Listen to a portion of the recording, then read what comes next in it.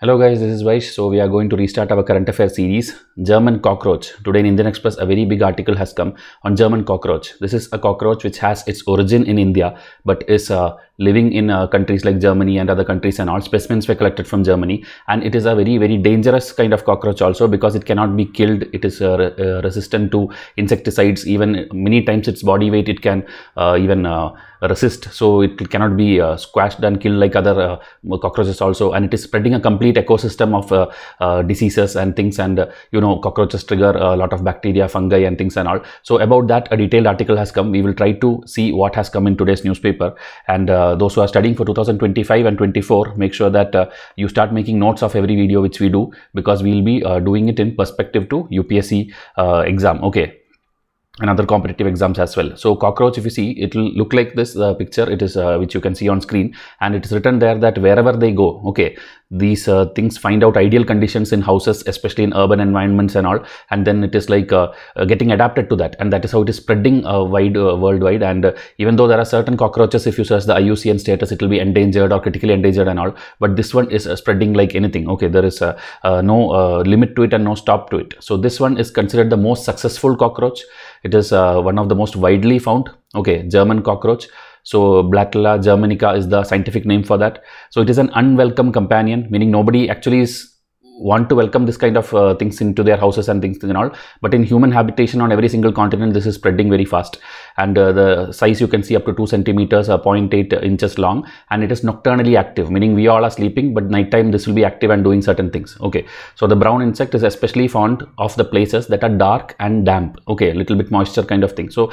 if moisture is not there it cannot survive. So again it is not found in the wild. It is there in like in our urban environments. It is uh, uh, as i told spreading like anything. And then that complete ecosystem it is damaging so first, if you take the history of it, it was classified by Swedish naturalist. It is uh, Carl, and in 1776, way long back, and uh, he actually uh, got these specimens, samples for the first time from Germany. That is why it was called German cockroach. Okay, it doesn't have its origin because the origin later a different team of National University of Singapore was looking for its origin and find out that it is actually coming from uh, India and Myanmar. Okay, it is uh, actually coming from India and Myanmar human settlements, and then it went and settled in Germany or they uh, illegally there i don't know. So they all entered there and that is how it has grown. Okay. So about 1200 years ago they're telling the uh, route it took. Okay like uh, one is like the spread of islam. So because of that it got a, a, wave of growth. And then another is like because of the european colonialism british and netherlands uh, dutch people were occupying everywhere. So along with humans this is also moving around. And that is how it has grown and become the most successful cockroach as it is termed by the indian express today.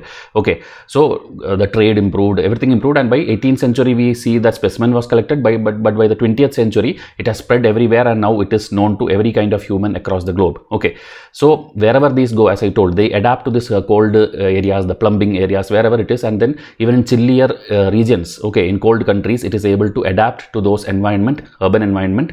And these uh, uh, as i told they will die of thirst if they don't find uh, damp corners like in modern houses and all okay. So people who are uh, having modern houses and these things and all is able to little bit at least keep away this uh, uh, kind of creatures okay so compared uh, with other uh, roaches other cockroaches it is particularly resistant to insecticides. Okay the chemicals and all it is uh, becoming like immune to it and then that generation itself is completely getting immune. So insecticide doesn't work on these kind of creatures also. Okay so their entire population they are able to rebuild like within few months and they have a huge army of people who is actually like as i told triggering a lot of things which i'll show you in the last final slide that uh, the skills which it has. Okay it moves incredibly fast it can even go through these tiny cracks and all and enter our houses.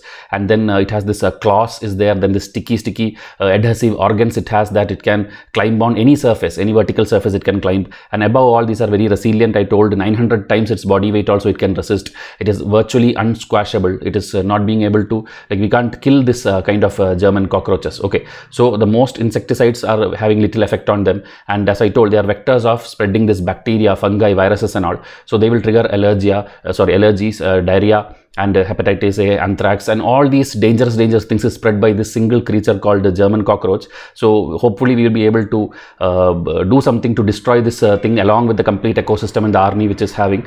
So we'll uh, come with more details like this. This is what came in today's newspaper. You should read your newspaper yourself also and then try to follow us also. If you also are someone who hate cockroaches, especially these kind of German cockroaches, you can just put a like, share, comment and subscribe this channel so that we can continue this initiative and get you more and more current affairs. Okay, so thank you.